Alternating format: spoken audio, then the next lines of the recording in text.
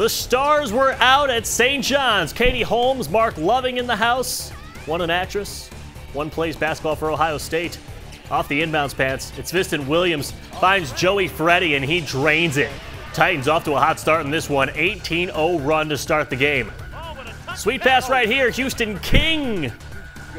However, this one may be the play of the game. Ball poked away by Williams and then up and slam. Let's take another look at it. This guy has some ups. Slow motion for you. St. John's win this one big time, 82 34.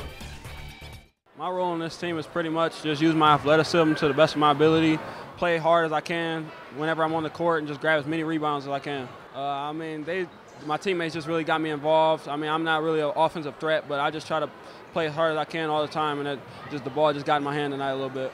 I, I, think we really got a good team, a good group of guys. We really, we really bond well off the court, so that makes us. Uh, our chemistry on the court really good. It was kind of it was kind of hard in the beginning, but you kind of get uh, in basketball shape, I guess you can say. And I'm just uh, I just use all my athleticism that God has gifted me with, just uh, and I just transfer it onto the basketball court.